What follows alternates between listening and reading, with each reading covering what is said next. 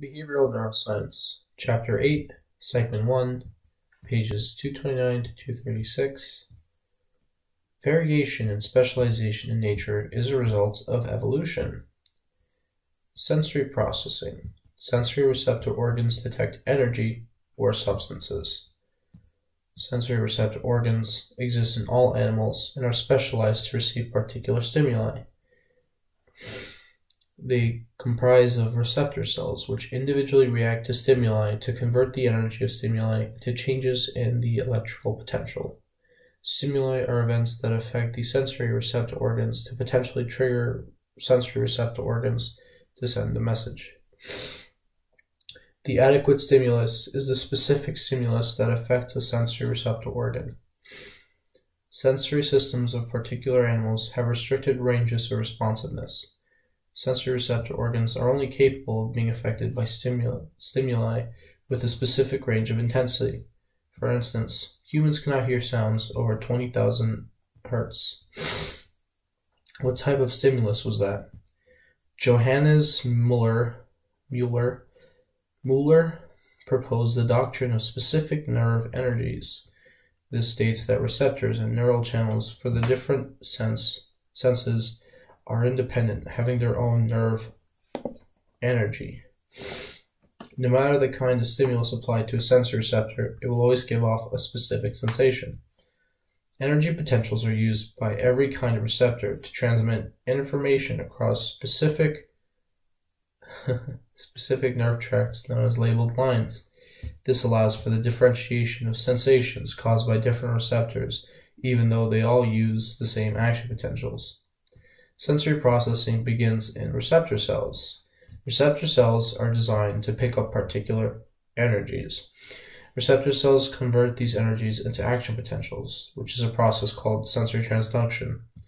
Some receptor cells have axons to convey their messages. Others stimulate other cells' nerve endings, either mechanically or mechanically, mechanically or chemically. Stimuli cause receptor cells to experience changes in electrical potential. These changes in a receptor's membrane potential are called receptor potentials. Pacinian corpuscles, located in the skin and muscles, detect vibration as their stimuli. They consist of layers surrounding an axon. And the strength of a stimulus determines the amplitude of the graded electrical potential. When the receptor potential gets big enough, it reaches a threshold, much like the initiation of an action potential, and generates an action potential. Excitatory events uh, go as follows. Mechanical stimulation deforms the corpuscle, so it'll kind of squeeze a little bit. Deformation stretches the tip of the axon, and this opens mechanically gated ion channels in the membrane, allowing positively charged ions to enter. Upon reaching threshold, the amplitude of an action potential is generated. Uh, sensory information processing is selective and analytical. The Greeks believed in tubes, Romans believed in straws, pagans believed in sex gods, Christians believed in the one true living God. It is now clear that the sensory organs and peripheral sensory pathways convey limited information to the brain. Much selection and analysis actually occurs along the sensory pathway.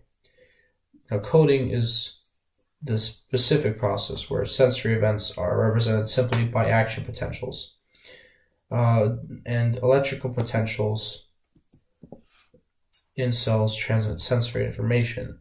The pattern of electrical activity in the sensory system must convey information about the stimulus through nothing but action potentials, which are almost uh, identical. So, this is why the neural codes are actually limited.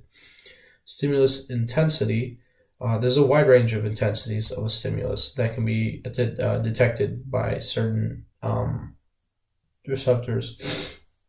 Um, they represent in the nervous system from a neuron sending action potentials at different frequencies. Frequencies are limited though because the maximum amount of action potentials that can be uh, given off by a, a neuron is uh, 1200 action potentials per second uh, multiple receptor cells work together to create a broader range for coding the intensity of a stimulus. Strength of a stimulus causes new neurons to cooperate in the coding process. The number of acting cells can convey. Oh boy! He fell. Little baby. Maybe he should do the reading. Where am I? I feel like crap. Uh, number of acting cells can convey intensity of stimulus.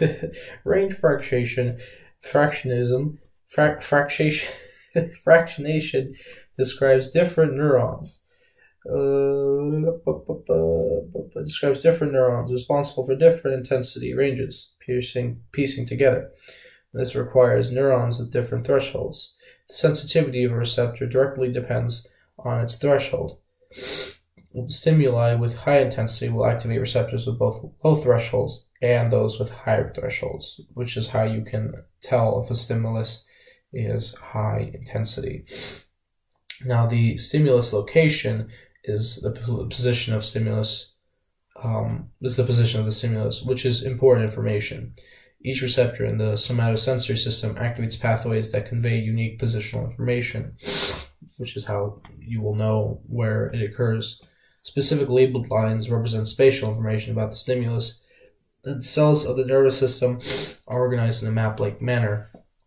Some are more sensitive, uh, some have more sensitive areas of the body, and uh, they have more densely packed receptors and they have bilateral, like with bilateral receptor systems, the time of arrival of stimuli at either side conveys spatial information of the stimulus. An example of this would be binaural stereo audio recordings, which is how most music is portrayed nowadays. It's left and right, so they can make it so that it sounds like you're in actual 3D space when you're listening to audio.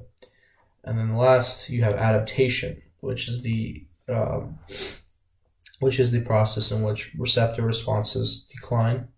And uh, this is this despite the maintenance of the stimulus. So the stimulus could be constant, like me holding the snake. I could feel the pressure of the snake on my hand, but if the snake doesn't move, I'll get used to it and I won't really be focused on it. I won't be receiving that um, stimulus anymore. But when it starts to move, that changing stimulus, I will start to notice. Um, and so these action potential frequencies, they decrease uh, as the constant stimulus persists. And there are two kinds of receptors when it comes to this. There's tonic receptors, which have little to no ad- uh, adaptation, and there's phasic receptors, which do have uh, adaptation.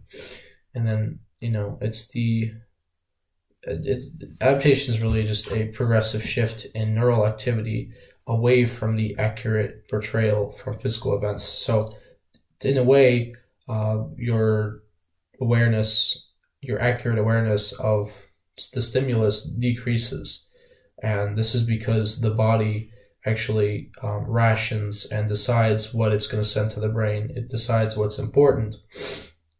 And this is to prevent the nervous system from being overwhelmed by stimuli.